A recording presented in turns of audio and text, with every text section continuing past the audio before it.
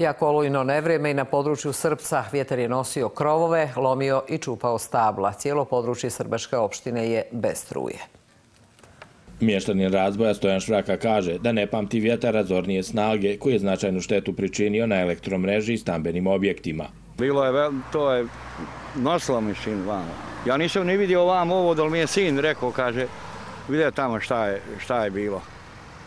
A u nas je u, tamo u šumu, u mene i u brata, to je izvalo iz, iz zemlje, znaš, ili šodor blizu izvalo jedan, pet, šest rastova, klenova, jasenja i tako. Jak vjetar praćen obilnom kišom veliku štetu je načinio i na školskim objektima osnovne škole Dostoje Obradović u Glamočanima i Prijebljezima. Pa evo, štete su stvarno ogromne.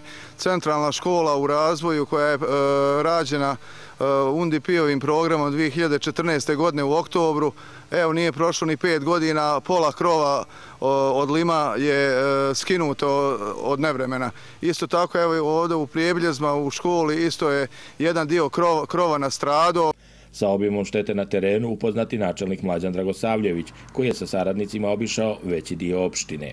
Gotovo cijeloj teritoriji Srbačke opštine ovaj, e, se radi o e, velikim štetama, kako na objektima infrastrukture, domaćinstvima, javnim objektima. Imamo, nažalost, i velikih oštećenja dakle, i na javnim objektima.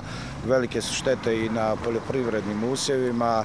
Nemamo, naravno, još uvijek ovaj, ni, ni približno podataka za eventualnu procjenu ovaj, da kažem, situacije. Ono što je najbitnije u ovom momentu, nemamo spoznaja da ima povrijeđenih. Mnoge lokalne saobraćajnice su zbog oborenog drveća neprohodne i na njihovom raščišćavanju pored mještana rade i vatrogasci. U toku noći trebala bi biti održana i sjednica štaba za vanredne situacije.